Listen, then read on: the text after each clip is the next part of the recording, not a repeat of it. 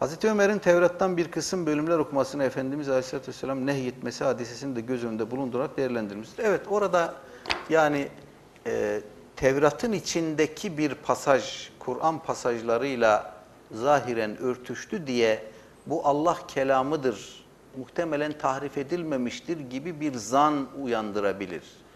Tehlikeli olan budur. Ee, böyle bir durumla karşılaşıldığında Efendimiz diyor ki ehli kitabı tasdik de etmeyin, tekzip de etmeyin.